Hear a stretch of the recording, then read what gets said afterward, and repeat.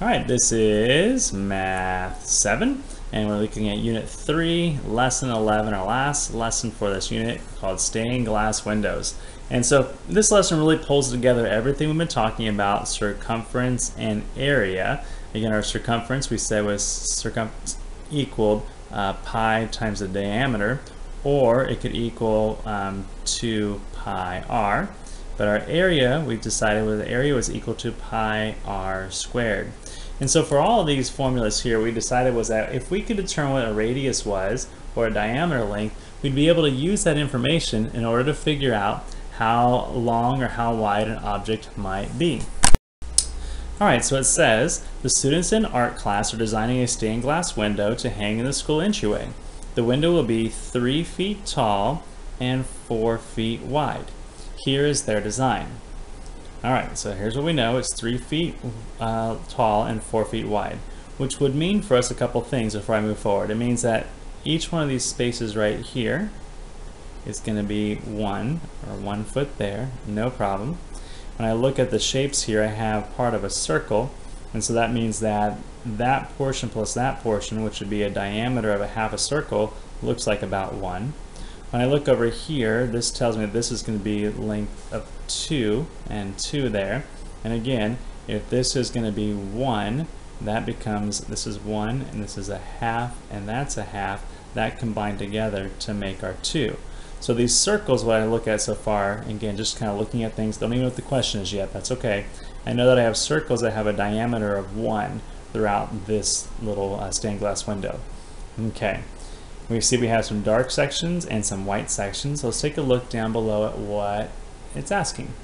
Okay, it says, they have raised $100 for the project. Great. The colored glass, so the colored glass is going to cost $5 per square foot. So $5 a square foot. We're talking about area there, square foot. And the clear glass clear glass is going to be $2 a square foot. Okay, so $5. The material they need to join the pieces of glass together, so the joint material, the joints, is 10 cents per square foot, or per foot, so 10 cents a foot. And the frame is going to be $4 a foot. Okay, so we have lots of different elements here. We have the color glass, which is going to be the dark pieces here. And we have the clear, which is the white. We have the joints, which are these little pieces inside of the, the, um, the frame. And then we have the frame itself all around. So we, those things all have to be combined together to find a total cost, and we need to decide if that total cost is going to be greater than or less than the amount of money that they have raised. So let's take a look at some simple ones first of all. So for the frame, the frame we know is a 4 by 3 frame, okay? And we know that for to find the frame, that's going to be a perimeter. So a perimeter means I take my length and my width, and instead of multiplying it here, I could simply add a 4 plus 3 plus the other 4 plus the other 3, and get for myself a nice sum of 14 feet is the length around this frame.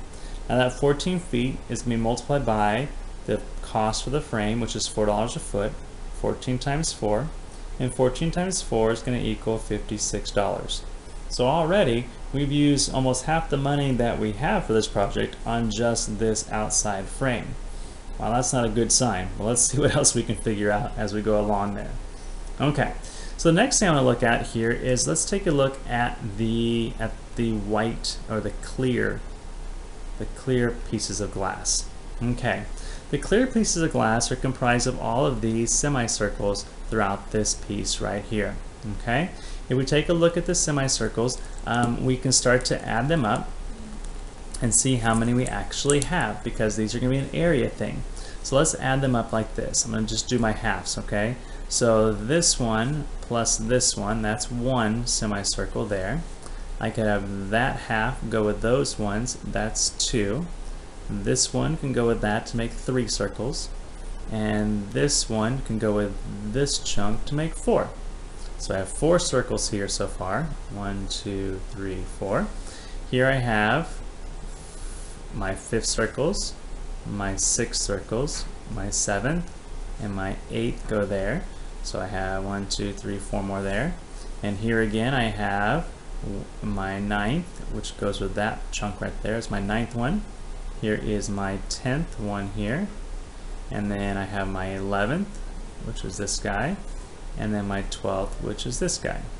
So I have a total of 12 circles all altogether that is broken up into halves and into quarters. So I, I know I have 12 circles. So the area of those circles is pi r squared. In this case here my radius is 1, like we already said before. So 1 squared is 1, so we know our area is 3.14, is pi. I'm going to multiply that by the 12 circles that I have. So 12 times 3.14 is going to be, oops, sorry, got a little mistake Let me back up a second. So back up here, looking at my notes like, oops, that's not right. My diameter is 1. Now my diameter is 1, that means my radius is a half. Oh, good catch there. So I'm going to do 3.14, sorry, times, and this is a half squared, is 1 fourth. 1 fourth is also 0.25, and then we'll multiply that by 12 altogether. Okay, so sorry about that. We're going to do a half, because that's my radius, and then squared, which was 0.25. So 3.14 times 0.25 times 12 is going to equal 9.42. Okay, so let's just double check my math here real quick. 3.14 times 0.25 times 12 equals 9.42. Now the color, the colored glass, or sorry, the clear glass is going to cost me $2 a square foot. So we'll multiply that by $2 to get my cost. And so my cost for the clear is going to be $18.84. Okay, so we have the frame and we have the clear. Now the colored glass is a little different because I can't really see if those are circles or not. That's just what's left. But what I can do is I can take the frame area and I can subtract from it the clear area and that's going to equal the space left over for the colored area. Okay? So the area of the whole thing is 4 times 3, which is 12. And I subtract from that the area of the clear, 9.42. And so 12 minus 9.42 is equal to 2.58 um, uh, feet squared. Okay, feet squared, or square feet. That's my colored area. Now the cost for the color glass is $5 a square foot. So I'm going to multiply 2.58 times 5. When I multiply 2.58 times 5, I end up with $12 and 90 cents. Okay, I'm going to move it up here a little bit because I'm running out of some room. Alright, so at this point we have the frame, we have the clear, we have the colored, and what's left then is just the joints. The joints are going to be all these pieces that go around the circles here, as well as these long lines right there. Okay, so I'm just going to call them my joint pieces here for how they're joined together. For the joint pieces here, there are a couple different parts, right? I have the circumference of all the circles, right? These are my 12 circles and they all have wire that goes around them.